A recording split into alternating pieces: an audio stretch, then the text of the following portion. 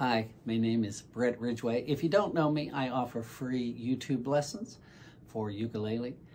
I'll uh, put a link to that in the description below. But I wanted to offer a workshop to you that I'll be teaching throughout the month of August and actually into September called How to Play More Than Half a Uke.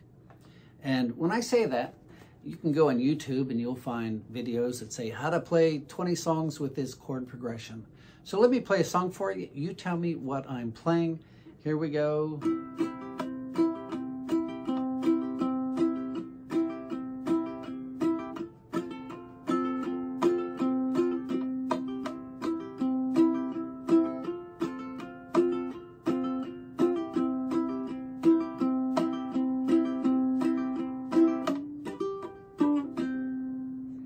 So what did I just play? You don't really know because you're really just playing backup chords.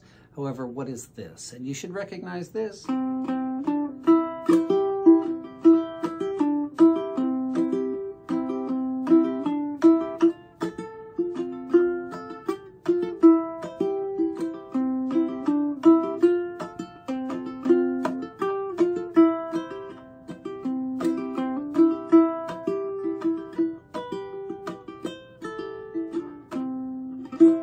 So one has the melody, and that's what I'm teaching, is not only how to play the melody on your ukulele, but also how to play in this claw hammer style, which gives it a very nice natural syncopation.